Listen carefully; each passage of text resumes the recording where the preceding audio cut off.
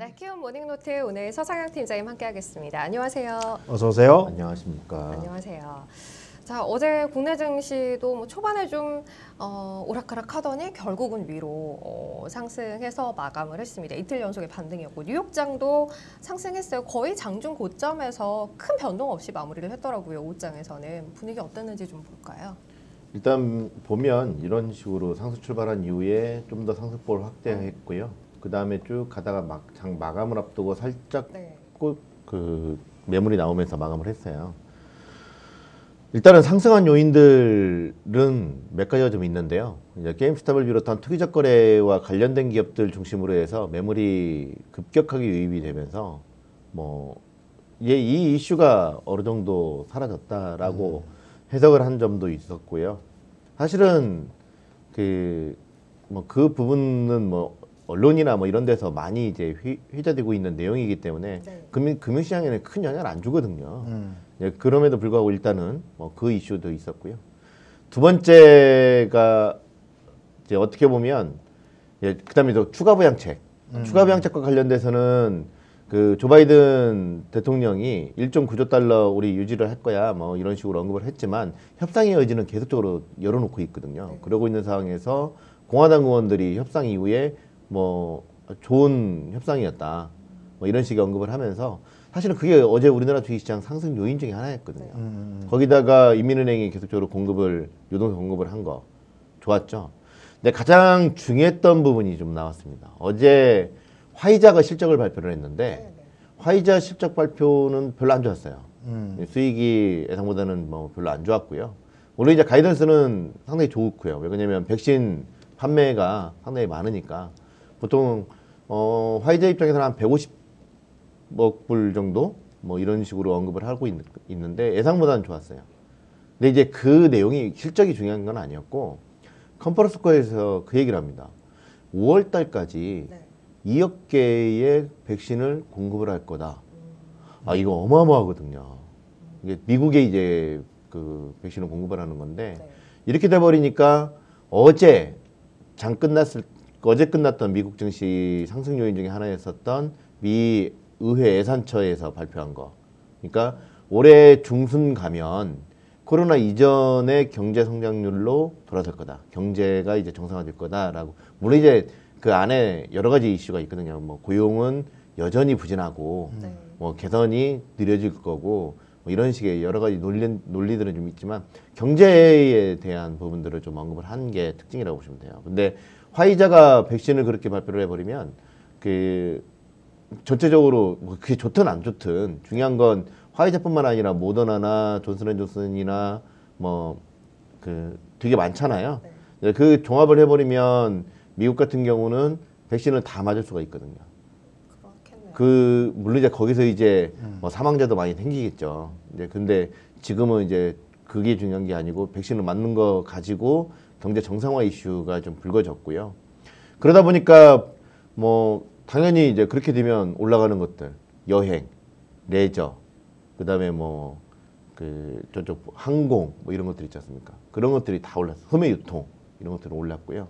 그다음에 이제 그 경기 부양 정책이라든지 경제 정상화 이슈가 이제 불거지면서 어, 금리가 또 상승을 합니다. 음, 네. 이게 장당의 금리 차가 좀 더 벌어졌고요.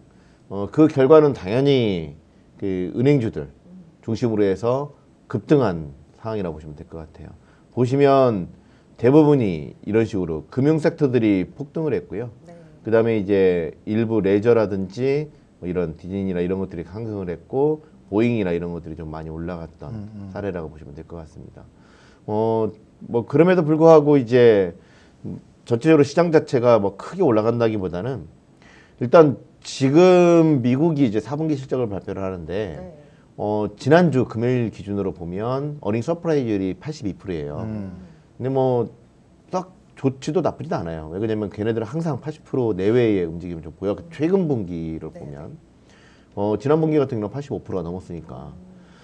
근데 이제 문제는 earning surprise가 나오고 나면 주가가 올라가 줘야 되는데 오히려 5년 평균이 0.9% 상승인데 이번 분기는 1.5%가 빠졌어요. 그만큼 어, 많은 부분들이 선반영이 돼 있다. 그다음에 두 번째는 그 실적이라는 거는 어차피 지난 분기이기 때문에 과거형이잖아요. 그래서 향후 가이던스라든지 그다음에 또 추가적인 부분들 배당을 늘리- 늘리거나 아니면 자사주 매입을 발표하거나 이런 내용들이 발표되지 않은 기업들 중심으로 해서 대부분 다 하락을 했다라고 보시면 될 것 같습니다. 결국은 이 부분인 거예요. 그러니까 시장이 어 좋은 건 다 알고 있으니 그 위에 더 많은 것들을 발표를 해라. 그거였는데 어 그러다 보니까 시장 상승이 좀 제한되는 그런 모습을 좀 보였던 게 특징이고요. 대신에 이제 미국 증시 끝나고 나서 실적 발표한 아마존하고 어 알파벳. 알파벳 을 좀 보겠습니다. 네. 아마존 같은 경우는 그냥 보합권에서 왔다 갔다 하고 있고요. 잘 나왔음에도 불구하고 제프 베조스가 뭐 물러난다. 어 3분기 때 물러난대요. 음, 물러나든가. 일단은 근데 알파벳을 주목할 필요가 있어요. 많이 알파벳이 올라요. 7%가 폭등을 네. 했습니다. 이큰 기업이. 근데 알파벳이 뛴 이유가 뭐가 있냐면 알파벳에 이제 그 원래 실적은 잘 나올 거라는 것들은 마이크로소프트나 페이스북을 통해 가지고 광고 수익이 어마어마하게 잘 나올 거는 누구나 다 알고 있었거든요. 네. 근데 이제 주목했던 부분은 클라우드 서비스 관련된 거였어요. 근데 클라우드 서비스 부분에서 처음 올해 처음으로 수익이 창출이 됐고요. 그 다음에 지난 분기 대비 폭발적으로 증가를 합니다. 그러다 보니까 알파벳 같은 경우는 향후에도 더욱 더 좋아질 거라는 것들이 어, 발표가 됐다라고 보시면 될 것 같습니다.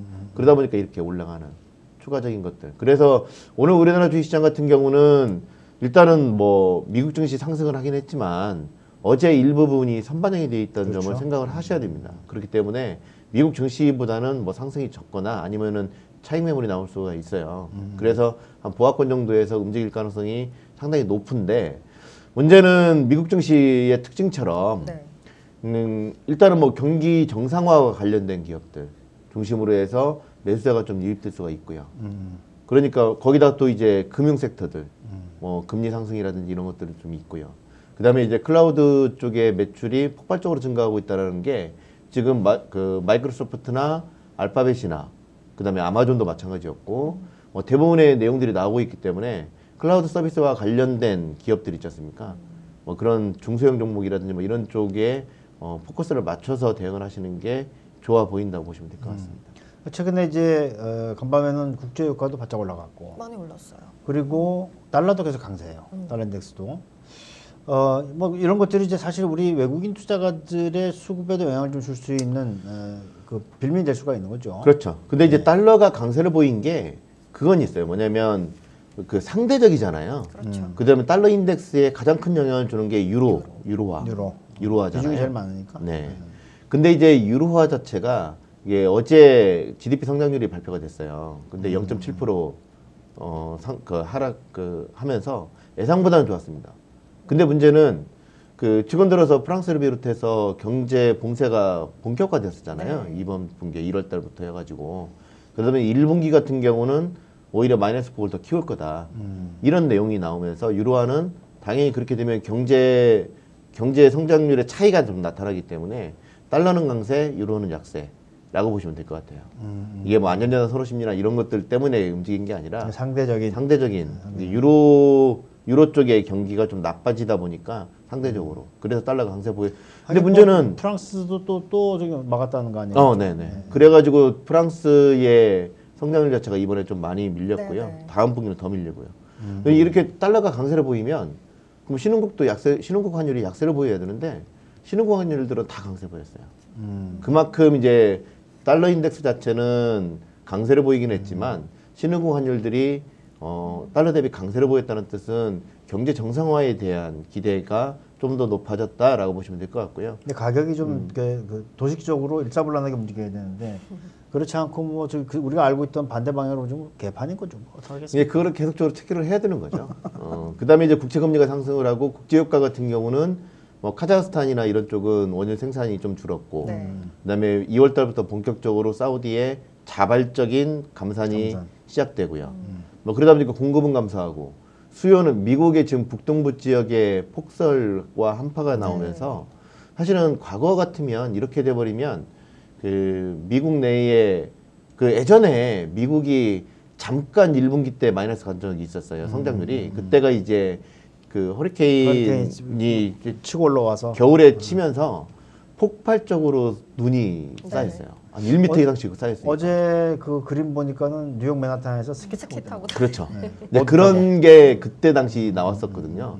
근데 보통 그럴 때 자동차 운행이 안 되니까 음. 원유 소비가 감소하는 거다라고 생각했는데 그 환파가 너무 많다 보니까 난방유 난방. 수요가 음. 급격하게 증가를 했다고 보시면 돼요. 음. 그러면서 이제 난방유 수요 때문에 증가를 하는 네. 거기다 뭐 경제 정상화라든지 이런 이슈가 좀 있으니까 그것 때문에 또 상승을 한 것도 좀 있고요. 은이 전날은 굉장히 많이 올랐었는데 간밤엔 또 훅 빠졌더라고요. 말씀드렸잖아요. 음, 그러니까 안 된다. 그게 이제 개인 투자가들 입장에서 선물 옵션 시장이라는 거는 기본적으로 그 누군가 일면 누군가 손그 수익이 나는 네. 구조잖아요. 은을 가지고 올리면 헤지펀드들은 감사합니다입니다. 거기다 또 패면 돈이 또 무한대로 있고 tick당 value가 되게 높기 때문에 음. 증거금을 못 지- 올렸더라고요. 못 또. 지켜요. 음. 그러니까 증거금 증거금 올려놓으면 개인들은 불리하고 또 기관 그렇죠. 유리하고 그래요. 그렇죠. 네. 이제 그런 것들 때문에 좀 많은 문제가 좀 있었다고 보시면 될 것 같습니다. 그래요. 알겠습니다. 알겠습니다. 자, 이렇게 이슈들 쭉 정리해봤습니다. 오늘 키움 모닝 노트 서상영 팀장님 함께했습니다. 고맙습니다. 고맙습니다. 감사합니다. 해외 선물 옵션 첫 거래 이벤트. 키움증권에서 해외 선물 옵션 첫 거래하고 최대 100만 원 현금 받자.